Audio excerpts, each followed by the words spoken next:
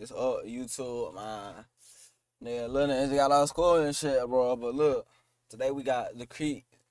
Man, we got Diddy 2.0, man. Don't forget to like, subscribe, the notification bell down below. I don't know Michael But a lot of times, the nerdy whites, they want to partner up with the kids at the cool table. Snoop told a story one time when he said the dudes from um, Uber was with Suge, and they begged Suge to come introduce them to Snoop. These dudes be going to Seed Capital. I just want to be around Kevin Durant. I want to be around Nas. I want to be around all of these cool people that I grew up on. I was the nerdy dude. Now I got enough money to, to mesh with them. Everyone knows that money rules the world, and the rap game is no exception to that rule. But the puppet master behind many iconic artists is a truly sinister and creepy man. Michael Rubin is an industry tycoon, and his name really started circulating along with this embarrassing clip of gangster rapper Meek Mill, as some of you may recall, where bro was literally bunny hopping like an absolute psychopath on camera. Why are you doing bunny hops, Meek? Because you got your ass beat in tennis. You got your ass beat. Keep going. Count out loud. Count out loud. And it's slowly coming to light that he is your favorite rapper's favorite billionaire, orchestrating a large network of young black talents across hip hop and even sports. Even the likes of 50 Cent have been seen clowning rappers close to Michael Rubin. From the outside looking in, it seems like a pretty good idea to associate yourself with a billionaire, as there are countless benefits being tied to such wealth. But the quote unquote benefits that Michael Rubin comes with tend to be questionable at best. Don't be making fun of me when I'm drunk. You're gonna get another drunken hug tonight. I don't care what anyone says. You're getting a drunken hug. You too. You too. Drunken hugs are coming tonight. It's your boy Luesta, and today we're gonna unpack the unsettling hold that Michael Rubin has on hip hop culture. But before we get ahead of ourselves, we gotta understand his origins in the world of hip hop and the power that he holds outside of the game that you'll see extends farther than anyone really knows. With 11 big B's to his name, it's hard to imagine Michael Rubin ever starting off with humble beginnings, but that's exactly how the story goes. Like many kids, he started shoveling snow when he was only 8 years old, and by the time he was 12, he had a ski repair shop that eventually raked in 125k a year. His keen eye for business carried into adulthood, and perhaps his most important money move came in an early investment with Fanatics, the top sports merchandise company in the entire world. This wasn't a one-off expense though. Rubin loved sports, and he eventually was inspired to purchase the Philadelphia 76ers and became its most popular This owner despite sharing the team with several others. And it was courtside at a Philly game where he met the gangster rapper Meek Mill, fresh off the scene after coming up with moving and raw bars like these. Some summer nights can even turn cold.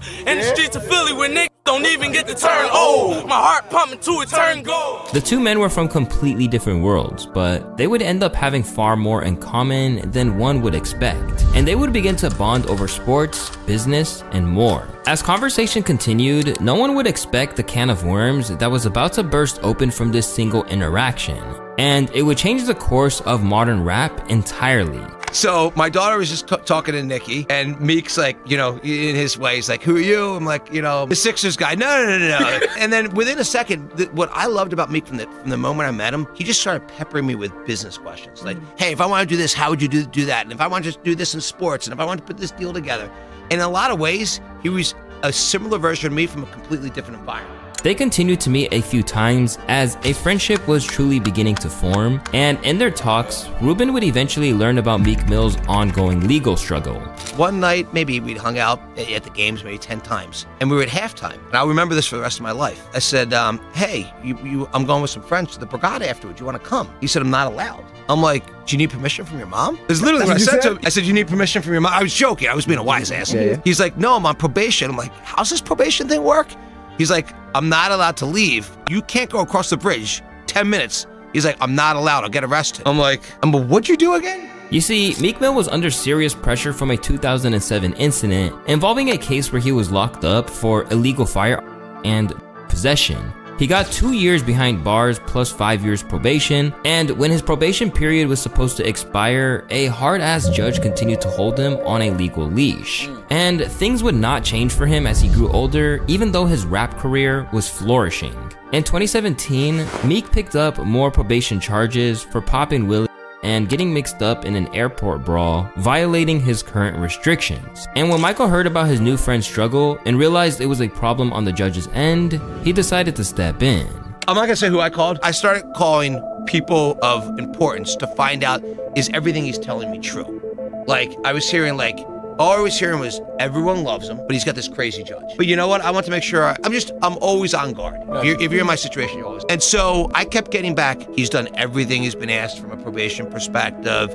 You know, he's well liked. He's a good guy. Yeah, he's a little bit on rap time sometimes, but this is a good guy. You know, he's doing lots of charitable things. I wrote this letter, which became, I never thought it would become public. It became very public. Mm-hmm. I wrote this letter and basically talked about my relationship with him. I basically said, like, look, this become one of my closest friends. Like, you know, he knows my daughter well. He knows my mom. You know, he knows, you know, all of my, you know, partners in the Sixers. Despite Rubin's letter and his appearance in court during the hearing, the judge still sentenced Meek to two to four years in prison. This was a shocking verdict considering everyone involved had strongly recommended against prison time, including the parole officer. It was abundantly clear that the judge had a vendetta against the young Philly native, but lucky for Meek, he had a billionaire friend in his corner of the ring. I literally, I look at Meek and he always wants to be Mr. Tough Guy.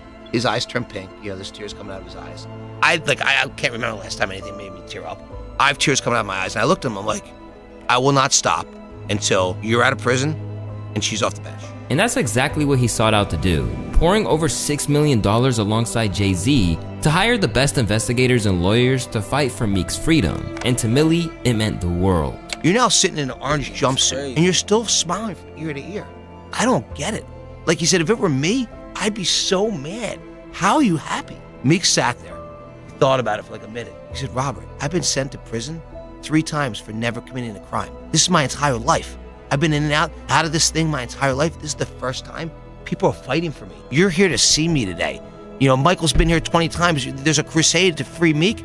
This is the first time that's happened. All that effort was worth it in the end, as the judge would eventually get revealed to be super corrupt, even beyond the courtroom. Aside from multiple weird cases on her end, she was also secretly spying on Meek and even demanded he drop her name in a song. Some pretty strange behavior. But the real win in all this was for Michael Rubin, who was quickly being hailed as a model billionaire and culture icon. He kept riding this wave when he established the Reform Alliance with Jay-Z to combat legal system failures. We said we're gonna get a million people that are on probation or parole that shouldn't be on, out of the system. There's, there was four and a half million people at the time. This is three and a half years ago. We've already cleared a pathway for 650,000 people that are of the richest man in rap to emerge from the most unseeming shadows. And it was too late for those that flocked to him. The friendship with Lil Baby, what was it about him and your guys' uh, rapport that sort of he's connected a great guy. He's a great guy. Baby is absolutely one of the best human beings in the planet. There's never been a thing I've asked him to help with, like from a charitable perspe- perspective with the Reform Alliance. There's never been anything. He's just such a great human being. I love his work ethic. Uh, rapport that By the sort way, of he's a connected great guy. He's a great guy. Baby is absolutely one of the best human beings in the planet. There's never been a thing I've asked him to help with, like from a charitable perspe- perspective with the Reform Alliance. There's never been anything. He's just such a great human being. I love his work ethic. When you hear his story, and I again, I don't know anything about music, so when I met him the first bro. Time which Drake in the. Bahamas in 2020,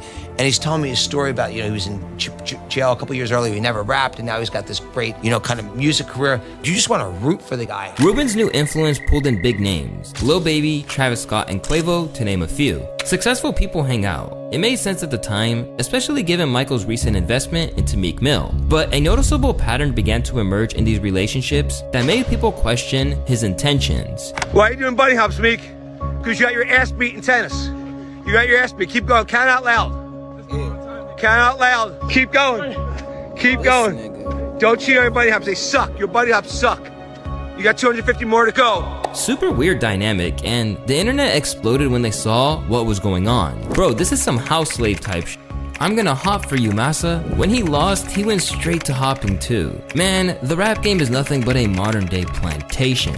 I discussed the situation in much more detail in my video about how Meek Mill destroyed his career. But one takeaway from that video is that this was all weird behavior for a man like Meek Mill. A respected street artist who really portrays the image of a gangster, it just felt really weird for him to do something like this. And due to all the negative publicity he was receiving, Meek Mill tried to explain that this was a game played in prison. But of course, that only got him flamed even more. Someone tweeted at him, How much did they pay you to do this? This is the first time he's addressed it. Keep in mind, there's all these Diddy rumors about Meek. There's this, what I believe to be a fake audio about Meek and Diddy engaging in some wrestling for the cereal, like he used to do with the. like he said he used to. People have this assumption that Meek is doing zestivities with Diddy or potentially gay. I don't believe that. So he says, This is a game I started from prison. We used to make killers do bunny hops when they lost because it was too hostile for money. A YouTube channel, the link. This be us. I'm gonna get Rubin to bunny hop for me, okay? LOL. I'm gonna teach him D Thang hop. I don't even know what half of this means. The fact that he said we used to do this in prison and we used to make killers do bunny hops, this is one of those things where if Meek was right next to me and showed me the phone, anybody really, I'm looking at him like, dog, that is not what you want to send out. You used to make killers do bunny hops. What? What? What are you talking about? And then I'm gonna get Rubin to bunny hop. And this is the thing: him getting Michael Rubin to bunny hop for him has no effect on Michael Rubin. Most people don't even know Michael Rubin is the owner of the company that he owns. The clip of him doing bunny hops got so much attention that it resurfaced amid the Diddy allegations a while back as well. To make matters worse, this wasn't an isolated incident, as Lil Baby was another rapper who was a victim of one of Rubin's house bets that caught people's attention, and not for a good reason. What's the bet? I go to sleep from five to four, you get six braids. Six braids coming off your head. Six braids off the back of your head if you fall asleep from 5 p.m. until 4 a.m. My entire head. Bet.